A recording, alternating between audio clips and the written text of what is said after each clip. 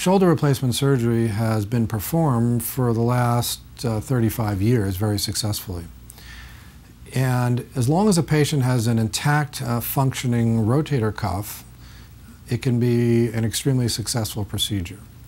However, there is a group of patients who not only have arthritis in their shoulder, but they also can have a severely torn rotator cuff. And the rotator cuff is a group of four muscles that run from the shoulder blade to the upper arm, and they allow patients to elevate their arm.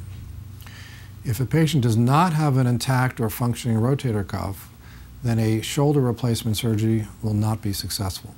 In order to describe a reverse shoulder replacement, we'll take a look first at the model of the primary shoulder replacement.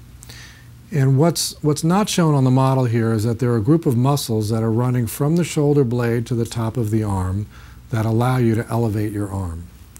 If those muscles are not present, such as a bad or severe rotator cuff tear, and you do a primary total shoulder replacement, this ball will just be pulled vertically and it will not allow you to elevate your arm because of the lack of rotator cuff. And up until um, approximately 2004 in this country, we had no good option for patients with arthritis and a severe rotator cuff tear.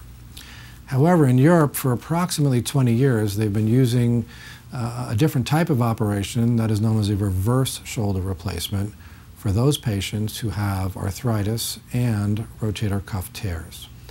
The reverse replacement was approved for use in this country by the FDA in 2004, and thus we've been able to use this operation very successfully for this type of patient.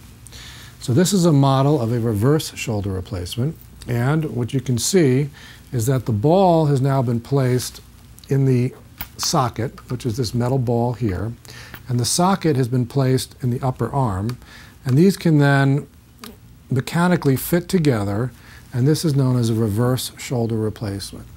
The advantage of this construct is that even though there's no rotator cuff, when the deltoid muscle pulls on the arm, because this is now constrained in this nature, the arm can elevate. So with a reverse replacement, the deltoid muscle actually takes over the job of elevating your arm which it cannot do unless a reverse replacement has been put in place. Reverse shoulder replacement requires usually two days in the hospital, and it's an operation that's performed through a fairly small incision, approximately three to four inches in length. The surgery itself takes approximately two hours, and patients leave the hospital with a sling, but are undergoing exercises, uh, mostly on their own for the first few weeks, to reestablish range of motion of the joint. Once, they once they're out of the sling and three to four months after the surgery, they're beginning to resume activities of daily living.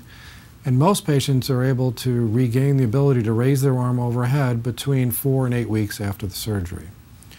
Patients who need reverse shoulder replacements typically cannot raise their arm even to the horizontal, and many patients significantly less the tremendous gain achieved by having a reverse replacement and regaining the ability to lift one's arm is a huge success for these patients, and they're really very, very gratified with the operation.